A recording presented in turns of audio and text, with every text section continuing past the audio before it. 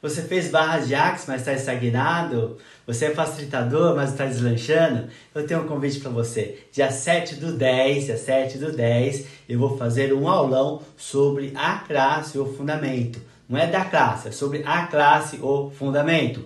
O que compõe o fundamento? Por que, que o fundamento alavanca o negócio das pessoas? Por que, que no fundamento tem tópicos que mexem tanto com a gente?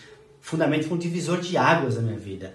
Quando eu fiz o fundamento, eu saí de uma dívida de 150 mil e criei o dobro disso. Eu paguei ela, fiz o meu CF e ainda comprei um imóvel, tudo dentro do mesmo ano. Como? Utilizando ferramentas que desbloquearam minha cabeça, minha forma de lidar com dinheiro, com os negócios, com a minha vida e com os relacionamentos com os clientes. Então, se você quer saber mais sobre o que é e como funciona uma classe dessa, dia 7 do 10, faça já aqui a sua inscrição correndo, que as vagas são limitadas. Vem comigo.